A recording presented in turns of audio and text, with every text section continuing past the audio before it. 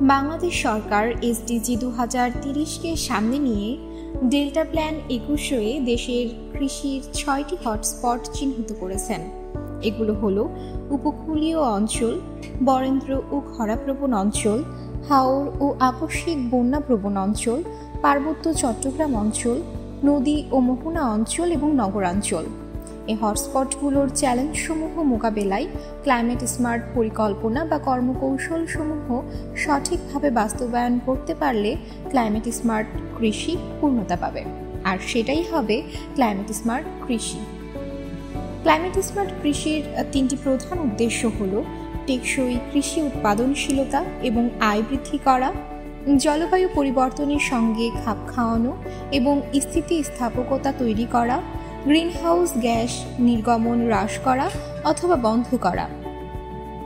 বহুমুখী কৃষিপণ্য উৎপাদন ও কৃষির সাফল্যের জন্য বহির্বিশ্বের কাছে বাংলাদেশ একটি রোল মডেল। উল্লেখযোগ্য বৈচিত্র্যময় কৃষিপণ্য উৎপাদন ও রপ্তানির জন্য বাংলাদেশ বহির্বিশ্বের জন্য একটি হাব হয়ে উঠতে পারে। তার জন্য দরকার ক্লাইমেট স্মার্ট কৃষি ও তার সফল বাস্তবায়ন। স্মার্ট কৃষি বলতে খামারে internet of things sensor location system automation robotics এবং কৃত্রিম বুদ্ধিমত্তার মতো প্রযুক্তির ব্যবহারকে বোঝায়।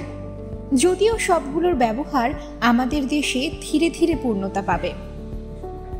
তবে স্মার্ট কৃষির চূড়ান্ত লক্ষ্য হল শস্যের গুণমান ও পরিমাণ বৃদ্ধি করা এবং ব্যবহৃত মানব শ্রমকে প্রশমিত করা। আমাদের দেশের প্রেক্ষাপটে ক্লাইমেট স্মার্ট কৃষি বাস্তবায়নে যেসব বিষয়ে লক্ষ্য রাখা দরকার, তা হল লাকসই প্রযুক্তি ও কৃষি যান্ত্রিকীকরণ ব্যবস্থা ও প্রযুক্তির সঠিক ব্যবহার নিশ্চিত করা, চাষাবাদ থেকে শুরু করে বাজারজাতকরণ, সব ক্ষেত্রে স্মার্ট কৃষি প্রযুক্তি যেমন remote control automation operated rice transplanter combined harvester ব্যবহার, বীজ বপন যন্ত্রের ব্যবহার বাড়ানো ড্রোন ব্যবহার স্মার্ট সয়েল ময়েশ্চার সেন্সর ব্যবহার পিএইচ সেন্সর আইওটি ভিত্তিক স্মার্ট কৃষি খামার ব্যবস্থাপনা রিমোট সেন্সিং এবং জিআইএস প্রযুক্তির মাধ্যমে ক্ষতিকর পোকামাকড় ও রোগের পূর্বাভাস প্রদান ও দমন ব্যবস্থাপনা রোবোটিক্স ক্ষেত্র বিশেষে ইত্যাদি ব্যবহারে কম খরচে অধিক ফলন বৃদ্ধি নিশ্চিত করা দরকার। স্মার্ট সেচ ব্যবস্থা বাস্তবায়নে নির্দিষ্ট হটস্পটের চাহিদা মেটাতে স্বয়ংক্রিয়ভাবে পানি দেওয়ার সময়সূচি এবং সঠিক ও প্রয়োজনীয় পরিমাণ পানি সরবরাহ নিশ্চিত করা।